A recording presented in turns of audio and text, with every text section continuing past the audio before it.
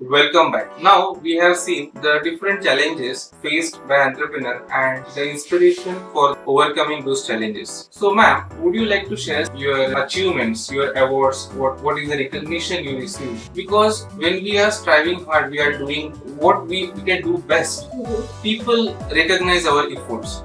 And for that we have to showcase what we have actually done, what is your capacity is and nowadays digital media, videos and definitely the photographs are playing that role. Ma'am, would you like to share something about your achievements uh, to our audience? So the good part is I play two roles, one as a doctor and one as an entrepreneur. And uh, for both the roles, I have received a lot of love, a lot of recognition. There are so many forums which have invited me, asked me to share my journey because of course I always share both the positives and negatives because that's how every life is and through that a lot of people have got inspired. So I think every time there's a Women's Day or every time there is an Entrepreneur Day, so we, we keep people keep calling us, recognizing us both on the medical side and the entrepreneurial side. But I think the biggest achievements are having so many subscribers on YouTube because that really shows that we are adding value. So you know, of course, awards, trophies, recognitions shows that we are on the right path and people are benefiting from us. But also people subscribing to YouTube channel having more than 500 5-star Google ratings. So sometimes it's not just the bigger bodies which make you feel that yes, you have got recognition from a film star or a TV star. That's a different feeling altogether. But when a common person who looks at you to make their life better gives you a 5-star rating, I think that's a different reward. Great, great. So if you are an entrepreneur, if you have joined our community, Entrepreneur Excel, and you are adding value to the society, then definitely uh, you will be getting uh, rewarded in many other forms. And those rewards are maybe not uh, in terms of the monetary things, but the things which are actually matters to you as a human being. Because the insights which you are going to learn, insights which you are getting to, you know, implement in your life and making your journey an amazing path for your entrepreneurship is something which is lies with the like-minded people and the people who has faced the challenges and has a willingness to help you with their all the insights and experiences because it may cost you 10 to 20 years to get that experience which you will easily get from what they have uh, shared with you through the video or the facebook post or with their uh, online courses. So thank you and we'll see you in the next video